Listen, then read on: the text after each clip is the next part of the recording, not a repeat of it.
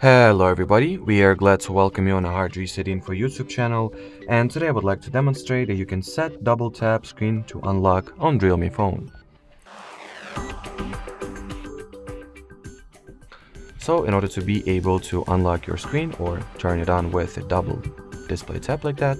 you will need to launch settings, then enter the system settings category, go for the gestures and motions, open screen off gestures page, turn the screen off gestures on by toggling the switch, and turn on the double tap to wake or turn off screen toggle. Now once my screen is turned off, I can wake it up by double tapping as well as lock it back off or well shut it back down rather.